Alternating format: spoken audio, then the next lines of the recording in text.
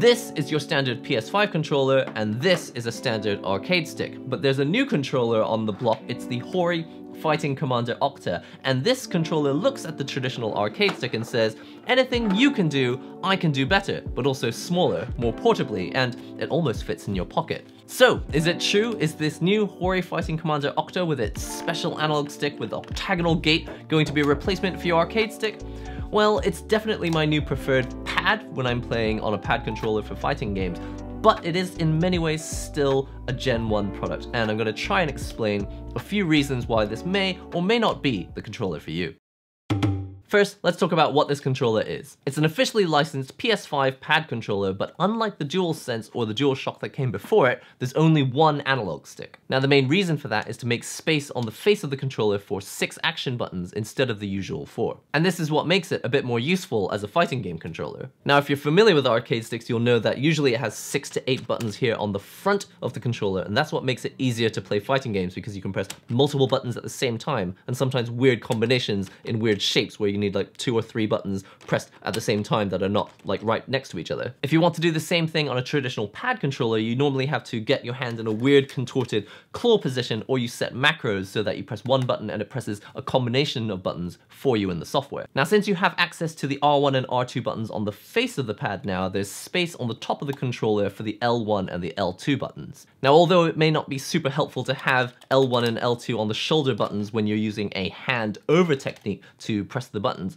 it is really useful to have access to eight total action buttons completely with your right hand if you're using a traditional grip like this, which means that your left hand is now completely free to focus on only one thing, and that's movement. So you're pressing on the D-pad with your thumb or using the new Octa analog stick. I suppose if you're using this hand over grip, you can actually reach the shoulder buttons like this, but it's not super ideal. Now that the L1 and L2 buttons have been shifted, the remaining space on the left side is dedicated to the L3 and R3 buttons, which you'd normally have to click an analog stick to press. We'll talk about the D-pad in a moment, but the analog stick is actually where this pad gets its name, the Octa. Unlike most pad controllers, this analog stick has an octagonal gate built into it, which makes it a little bit easier to know which direction you've actually pressed when you're pushing all the way against the edges of the analog stick. This is actually how most arcade sticks work, because even though you can't see it, there's usually an octagonal or square-shaped gate underneath the arcade stick and that makes it easier for things like circular motions. You can use it for things like guiding your hand around in a quarter circle or a half circle motion, but also if you've got a square gate, it just makes it really easy to lock your hand in place while blocking and then slide quickly over for sonic booms or flash kicks. I suppose it could be useful in 3D games like platformers or FPS games as well, but with this controller only having one analog stick, you're probably not going to be using it for that anyway. Now over to the D-pad. The original Fighting Commander for the PS4 had one of the better D-pads and this new Fighting Commander Octa is, in many ways, an improvement on that. Instead of the old plus-shaped design, the Octa uses a circular disc with a concave plus-shaped disc on top. I'll explain why that's important later, but for now, just know that this D-pad has a pivot in the middle, which is the bare minimum for a good D-pad. If it didn't, then you'd run the risk of pressing all the directions at once and having to waste time lifting off the D-pad before you can actuate any further inputs. Now it's time for Yope or Nope. Does it work on PS5? Yope and PS4 too. Does it work on Xbox? Nope, you're gonna have to buy the Xbox version for that. Does it work on PC? Yup. In fact, you'll need a PC to edit the four profiles for things like button remapping and changing the D-pad sensitivity. Is it heavy? Nope, there's no vibration motor or battery inside this controller, so it weighs practically nothing. Speaking of batteries, is it wireless? Nope, you're gonna have to deal with this traditional cable, which is USB-A on one side and hardwired into the controller on the other. Does it have a headphone jack? Yup. Is the analog stick clicky? Yup and nope. I mean, it's an analog stick, but it does have an octagonal gate and you do feel the click stops as you go around it. Are the action buttons clicky? Yup, but only these six action buttons on the front. These normal shoulder buttons on the top are just standard membrane buttons. Is it officially licensed? Yup. Is the D-pad clicky? Nope.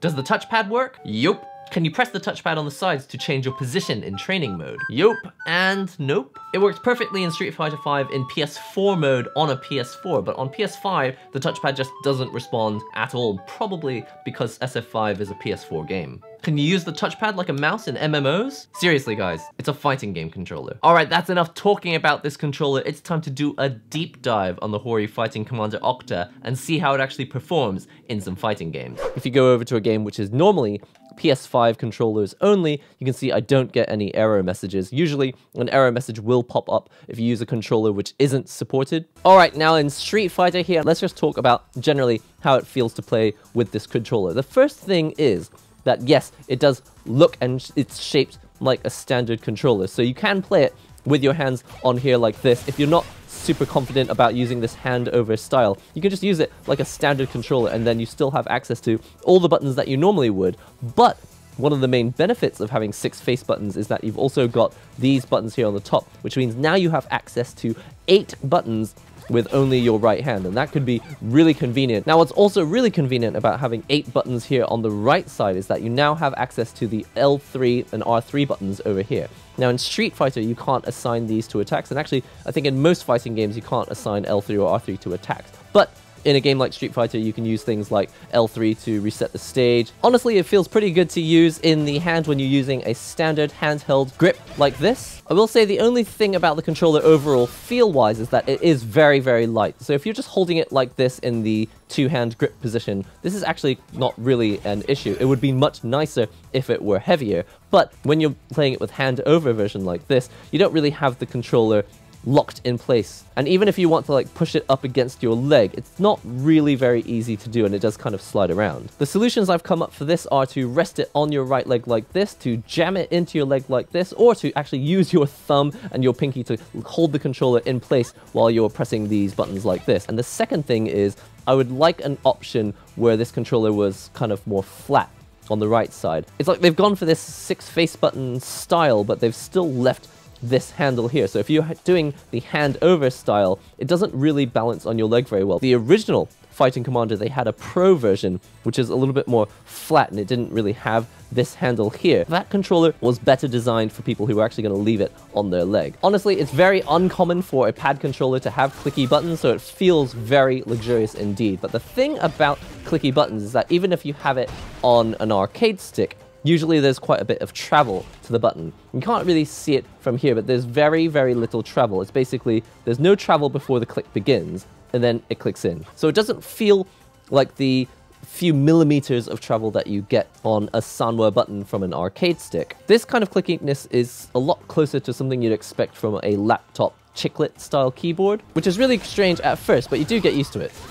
Weirdly, my opinion is actually that it doesn't need clicky buttons. I, I, it's kind of nice when you open it out the box and you're like, whoa, my pad controller has clicky buttons. But honestly, I feel like clickiness fe actually belongs on the left side where the D-pad is. When you're like hitting buttons from high up or just, you know, from you're putting, you know, quite a lot of force into pressing these buttons, it's kind of unsatisfying to not have a lot of travel. But one thing I will say about that is actually that because there isn't very much travel, it kind of encourages you to press these buttons more lightly and in a way, that means you're going to be more efficient energy-wise. One more cool benefit of having six face buttons on the front of your pad is that you can now use your shortcuts using a single finger. So when you go over to do something like a throw, you just smack it with your index finger like this. And when you want to do a V skill, I just use my middle finger, press both, and then I can do my V skill like this.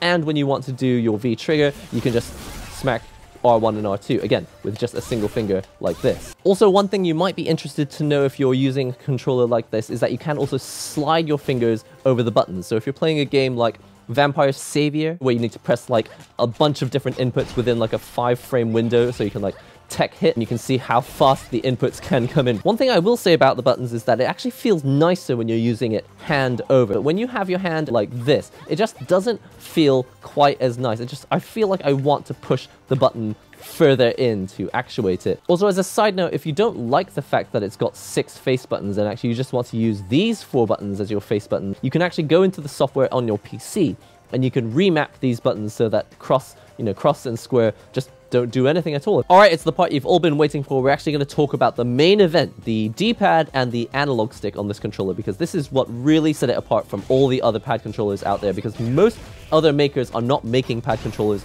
for fighting games. Now you may remember that I actually already reviewed a version of this controller, the one for the Xbox. This time for the PS5 version of the controller, I've really spent a long time testing it before making this video, and I've actually reached a number of different conclusions. I still stand by all my opinions that I had in the previous video on the Xbox version, but something I did notice is that it kind of hurts my finger to use the D-pad, or at least at the start it did. Now if you have a look at the D-pad itself, you can see it's actually got quite a hard plastic. It's not hard like it hurts, but it is hard plastic as opposed to the slightly softer, gummier feel of D-pads on things like the previous Fighting Commander. It's not that it's soft plastic, but it does feel softer to press just because of the shape of it. And as a result, when you're playing fighting games like I do and you're using the tip of your finger, it actually kind of starts to dig into the fleshy part of your thumb after you're using it for a while.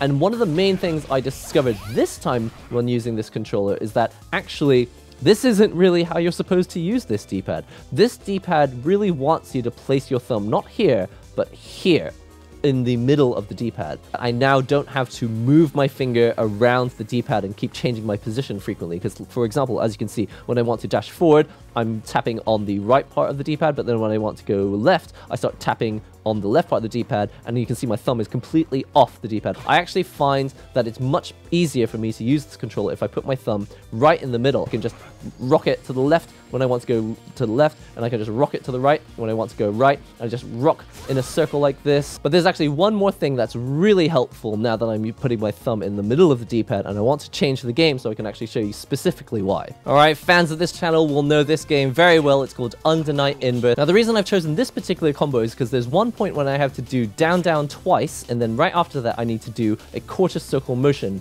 this way. And as you can see, if I use the tip of my thumb, it's actually quite painful, especially on this D-pad. It's because if I go down, down twice like this, and then I want to rock into a quarter circle motion like this, I actually like slide my thumb along the edge of this controller. you can probably you can probably feel how painful it is to do that. I recommend that you actually shift your thumb over to the middle of the pad and then you do what I was doing previously in Street Fighter. And as a result, there's no pain caused because all you're really doing is pushing down on all the different parts of the D-pad as opposed to sliding your finger along the edges of it. Let me show you what this combo actually looks like.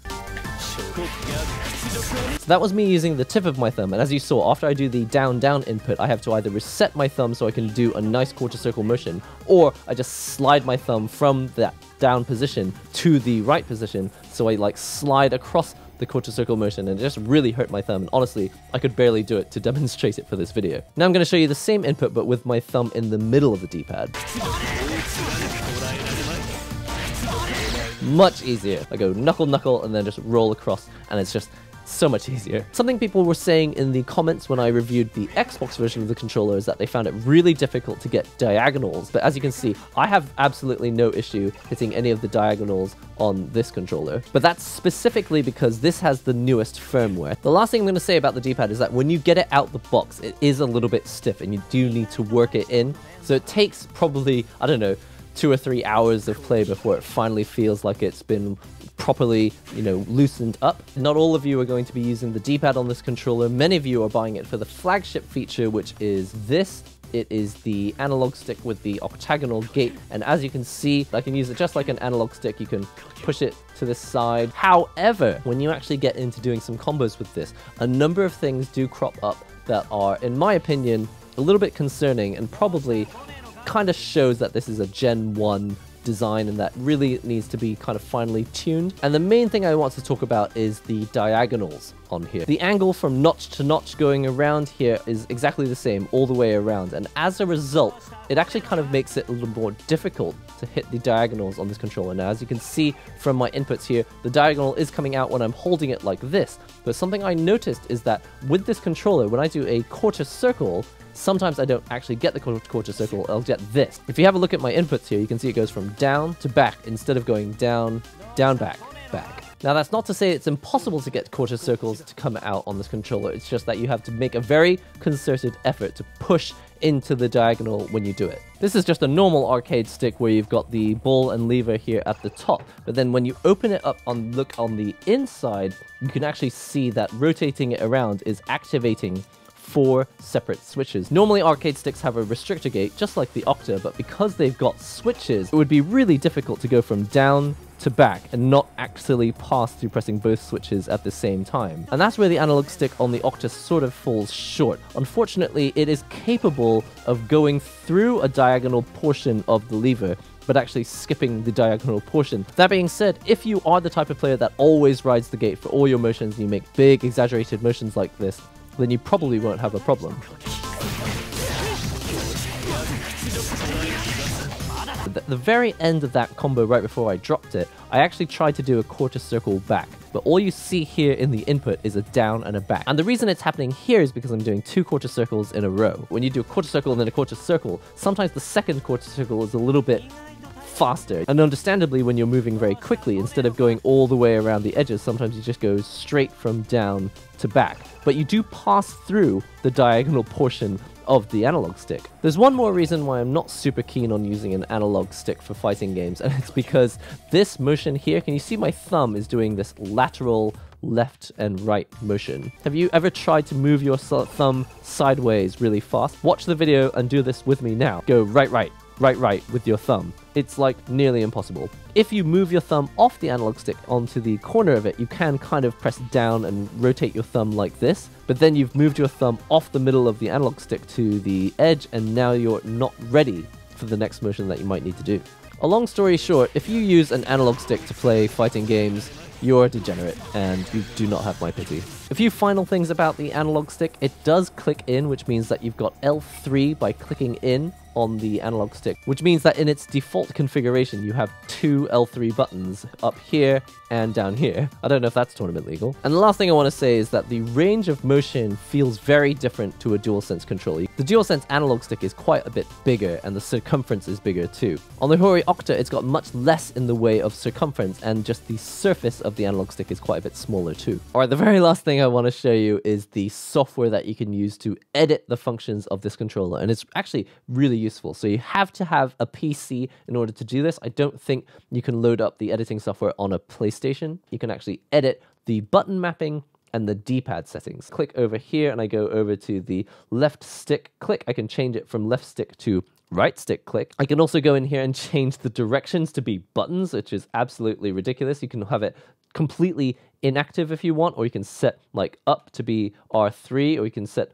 up to be down. and something I have shown, I think, in previous videos is that you can have as many of the same button that you want. So instead of these buttons being L3, I can have this be circle. Above it, I can have circle. The other thing you can change in the settings is the D-pad sensitivity. So if I press this button over here and I set this over to a lower setting like so, then now you can see it's like quite easy to press the up right position, but pressing the up left position, if I push really, really hard on the D-pad, it does come out, but if I push very lightly, it just doesn't come out at all. But what's frustrating about this is that I don't really need this for the D-pad. The only reason I would need a sensitivity adjustment feature is to change the analog stick, which actually has problems getting the diagonals to come out more easily. Last couple things about the controller, you've got a tournament lock switch. If you put it all the way over here, then, you know, the touchpad won't do anything and the PS Home button won't do anything, and these buttons on the side won't do anything. Alright, one thing that we absolutely have to try using this analog stick with an octagonal gate like an arcade stick is to actually try using this controller like an arcade stick. That's a little bit harder than I was expecting, and the main reason is that I would often miss the diagonal. Listen up, that's all I've got time for today. This has been a really fun controller to get to know over the past couple of months, but it's been such a difficult video to make because I actually covered this controller a year ago, and coming back to it, it's been like a love-hate relationship. The first time I went back to it, I was just like, wait, what did I actually like about this controller? I can't use this D-pad at all. I can't use this analog stick at all. And then I really spent weeks and weeks trying to figure out how to make the most out of it, and now I'm like, actually, maybe it's my favorite pad controller because of the way it kind of forces you to leave your thumb in the middle of the stick. You can use the tip of your thumb, but I do feel like the reason you would want to go for this controller is if you are the type of pad player that leaves your thumb in the middle of the pad, or if you are interested in experimenting with using the analog stick a little bit like you might use a traditional arcade stick. Another reason why I'm really happy that this controller exists is that there's just not that many companies out there making fighting game pad controllers, you know, controllers designed specifically for people who want to play fighting games, people who need six buttons on the front of the controller, people who need a good D-pad that isn't just like the garbage that they throw on most of the third-party controllers these days. So my honest opinion on this controller is that some days I love it and sometimes I absolutely hate it. I just like lose the knack. It, it could also help that I don't predominantly play on a pad controller. I usually play on a stick controller or an all-button controller. But going back to D-pad, I'm just like, okay, how do I actually get consistent with my combos using this D-pad? And in a way, I tried going back to the previous Fighting Commander and also just a DualShock controller. I was just like, you know what, it's actually kind of hard to go back and using the tip of my thumb, using those split D-pad controllers, using this sort of conjoined circle pad, which is concave, so your thumb fits in it, and ideally you just don't lift your finger off the D-pad at all. It does seem to work really well, but there are days when I just hate this thing, and other days when I'm like, this is it, I love this thing. So if you're gonna pick up this pad for fighting games, I really recommend that you keep as open a mind as possible. One more thing I should probably point out about this controller is that $60 is an awkward price range. Usually online you'll find it for $50, but the retail price is $60, and that makes it a little bit cheaper than an official controller, but not as expensive as a pro controller, and it is definitely not a pro controller. It's too light, it's got very plastically construction. I've heard a lot of people talk about the shoulder buttons kind of breaking quite quickly over time, so I'm like, this is obviously not going to hold up as like a main tournament controller unless you buy like maybe three or four of them and you have them in your bag ready to go and you also break in the D-pads on all of them because this is another thing that's a problem for people who play on pad controllers. They just aren't resilient enough for tournament play. Not the way that arcade sticks are built with super hard parts that are built to be used, you know, in public spaces in arcades. This controller, like any other in its price range, it's quite plastically and I don't expect it to last very long. But functionally, it does have all the things that you'd want as a fighting gamer on a pad controller. Things like a good D-pad and six buttons here on the front of the controller and the ability to have eight action buttons accessible to you with only your right hand. And as a bonus, it does things that I haven't seen many other controllers do, things like having an octagonal gate around the analog stick, which I think I've only ever seen on the original GameCube controller, but that was for the C-stick, not for the main analog stick. So basically, those are my thoughts on the controller. I think it's the sort of thing that you're either going to love or you're going to hate, and I think probably mostly because it's still kind of a Gen 1 product. I think that the octagonal gate on this analog stick isn't quite there. They need to tweak the angles that they've got on the gate around this analog stick, and also just things like making the controller heavier and feel more premium. I think what we really need is a pro version of the Octa, like a Hori Fighting Commander Octa Pro. So for example, maybe like 100 to $130. I wouldn't mind paying a price like that if you gave me a version of this controller, but with more sturdy shoulder buttons, heavier constructions, maybe make it wireless as an option, improve the gate on the analog stick and maybe make the D-pad even bigger. Maybe give us the option to actually take these clicky switches out and replace them with non-clicky switches or buttons that actually have a bit more travel to them. This design, the Hori Octa, has a lot of potential and I'm really hoping that Hori doesn't just end the series with this one. I'm hoping that they go further and either make an Octa version 2 or a pro version of this controller. Hit the like button if you enjoyed this video. Be sure to comment below if you've used this controller before or even the Xbox version before and you've got differing opinions to mine. If you've not used the controller before, be sure to leave a comment and you can ask any questions that you may have. I'll definitely do my best to answer all the questions that I can. Subscribe to the channel if you haven't done so already. That's all I've got for today. I'll see you in the next Nihongo Gamer video.